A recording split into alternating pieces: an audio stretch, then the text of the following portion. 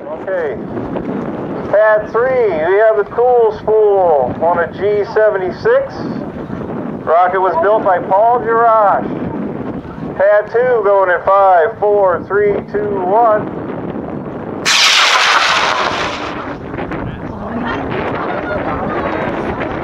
Yes, it was. And the spool has a chute.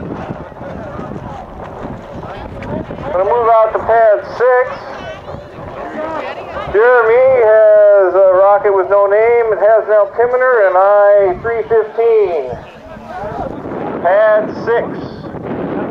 Not 4. He wanted me to launch 4 last for some reason. And we're going to go off pad 6 in 5, 4, 3, 2, 1. Bye-bye.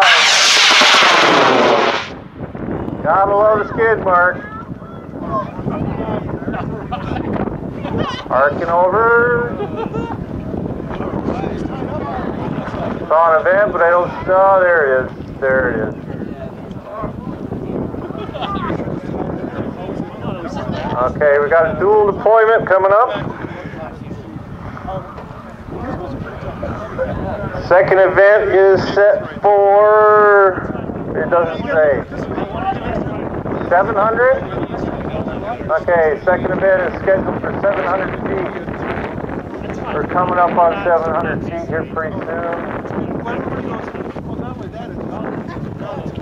I would say 700 is about there. There it is. Very nice, very nice. Okay,